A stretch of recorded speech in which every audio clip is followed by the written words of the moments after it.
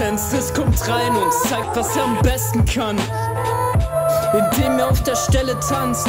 Und auch Pingo bleibt sich treu als ein Vogel, der nicht fliegen kann. Und übt sich in einem Rap-Turnier am schiefen Gesang. Ihr seid so widerlich, Mann. Nur zwei fette Lutscher, die außer Witze nichts gerissen haben.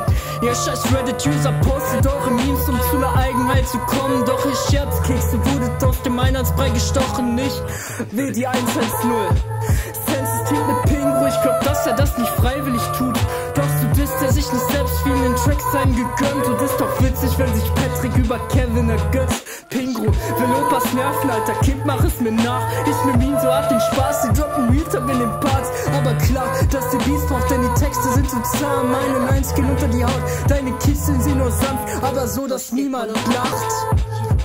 Naja, außer wenn er mal wieder was mit Bitches sagt.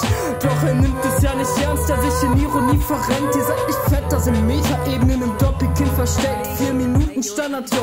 Bei so einer einschläfernden Rotze trifft es sich ganz gut. Das Sense ist nur ein Traumfänger-Cosplay.